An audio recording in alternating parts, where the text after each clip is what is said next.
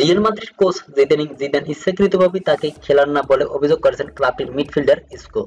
ম্যাচে কম সময় দেওয়া এমনকি কোনো কোনো ম্যাচে না খেলানোর জন্য কোচকে দায়ী করেছেন এই স্প্যানিশ তারকা। মাদ্রিদ স্তরের সর্বশেষ দুই ম্যাচ, এল ক্লাসিকো এবং চ্যাম্পিয়ন্স লিগের সাক্তার দিনাস্কর বিপক্ষে ম্যাচে ইসকোকে নামাননি জিদান। চলতি মৌসুমে এখন পর্যন্ত চারটি ম্যাচ খেলেছেন তিনি, তবে সেগুলোকে পুরো নব্বই মিনিট খেলতে পারেননি, ফলে তীব্র ক্ষোভ ঝরছে এই মিডফিল্ডারের কণ্ঠে। একটি টেলিভিশনের প্রোগ্রামে উপস্থিত হয় ইসকো বলেন সে যদি মাঠ থেকে আমাকে উঠিয়ে নিতে চায়, তাহলে পঞ্চাশ কিংবা ষাট মিনিটের মধ্যেই তুলে নেয়। কখনো কখনো প্রথমত শেষ হওয়ার আগেই তুলে নেয়। কিন্তু যখন আমাকে বদলি হিসেবে মাঠে নামাতে চায়, তখন নামায় আশি মিনিটের সময়। সাত বছর আগে মালাগা ছেড়ে রিয়াল মাদ্রিদে যোগ দেন ইসকো। তবে গেল তিন বছর ধরেই তিনি মাঠে অনিয়মিত। এই সময় মাত্র ছয়টি ম্যাচে পুরোটা সময় খেলেছেন তিনি। অনেকেই বলে থাকেন তাকে ডিফেন্সিভ মিডফিল্ডারে খেলতে চান জিদান। তবে ডিফেন্সে কোনো ধরনের সহযোগিতা করার পক্ষে নন ইসকো।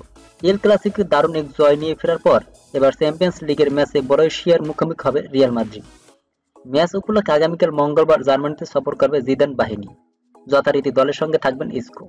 তবে মাঠে নামতে পারবেন তো? এবং প্রশ্নই থেকে যায় ইসকোর কাছে।